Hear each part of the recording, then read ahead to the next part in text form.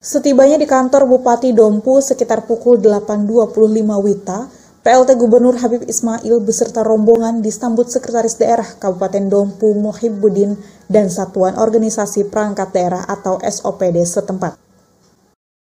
Pada kesempatan tersebut, PLT Gubernur Kalteng mendengarkan pemaparan program pengembangan pertanian jagung dan peternakan yang disampaikan oleh Sekda Kabupaten Dompu Muhibbuddin.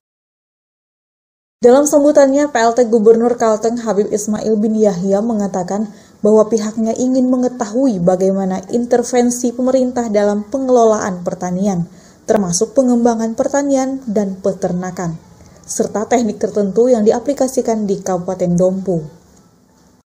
Seusai acara silaturahmi di Pendopo Kabupaten Dompu, PLT Gubernur dan rombongan meninjau lokasi kelompok tani ternak Kelurahan Kandai 1, Kabupaten Dompu Selain itu, PLT Gubernur Kalteng dan rombongan juga dijadwalkan untuk meninjau lokasi PT Segar di Desa Tekasire, Kecamatan Manggelewa, Kabupaten Dompu, dan meninjau lokasi bendungan Tanju di Desa Tanju, Kecamatan Manggelewa, Kabupaten Dompu.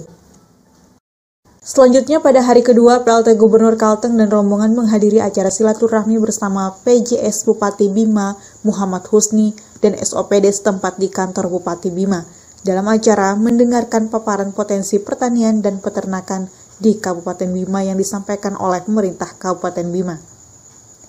Dalam kunjungan kerja kali ini, PLT Gubernur Kalteng Habib Said Ismail bin Yahya didampingi oleh Kepala Dinas Tanaman Pangan, Hortikultura dan Pertenakan Kalteng Sunarti, Kepala Dinas Perindustrian dan Perdagangan Aster Bonawati, serta PLT Kepala Biro Perekonomian Setda Provinsi Kalimantan Tengah Said Salim. Dari Palangkaraya, Tim Liputan Batara TV mengabarkan.